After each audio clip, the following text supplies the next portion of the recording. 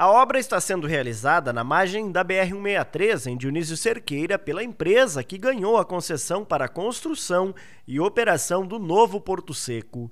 A terraplanagem já está avançada e o início das operações deve ocorrer entre o final de abril e início de maio de 2023.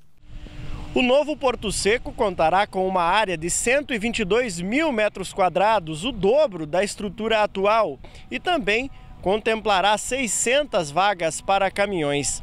O investimento inicial aqui é de 42 milhões de reais na primeira fase. O atual porto de Dionísio Cerqueira, único porto seco de Santa Catarina, foi construído na década de 90 e a última reforma foi em 2012. Hoje passam por aqui, de acordo com a Receita Federal, cerca de 300 caminhões por dia, de segunda a sexta, das 8 da manhã e 6 da tarde. No novo porto, a previsão é de que a capacidade de atendimento chegue a mil caminhões diários logo nos primeiros meses de operação. Nós teremos aí como benefícios né, um aumento de quase cinco vezes o volume de mercadorias que circulam por essa fronteira e isso trará um desenvolvimento econômico e social para toda a região.